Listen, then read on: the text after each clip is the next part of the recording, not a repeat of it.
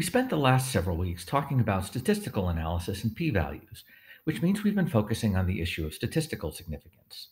We also talked about p hacking and statistical biases, and we've made it clear that just because something is statistically significant doesn't mean it's important clinically. Today, I want to focus on the difference between statistical significance and clinical significance, and discuss some other ways to look at the data from a research study that are useful for establishing clinical significance. Remember what statistical significance means.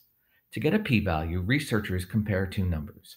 Those numbers may have come from two different groups of people, for example, an intervention and control group, one group of people at two different times, perhaps before and after an intervention was applied, or one group of people and some target value, for example, the slope of a regression line and zero. The values being compared are estimates researchers calculated a value from a sample that represents their best estimate of the actual value for the entire population. The p value is the probability of getting the estimates they got if there really isn't any difference between the two numbers. This has nothing to do with how big or meaningful the difference is. A small difference between two large samples can be statistically significant. And an intervention that causes large gains in some subjects and small gains in others may not produce a statistically significant result. Clinical significance, on the other hand, corresponds much more closely to our intuitive idea of significance.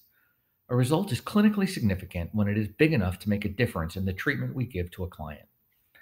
The appeal of statistical significance is that there is a single number and a widely accepted standard for establishing statistical significance.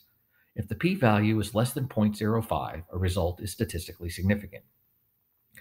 Whether a result is clinically significant depends on a number of factors, including the goals of a client and the cost associated with the intervention.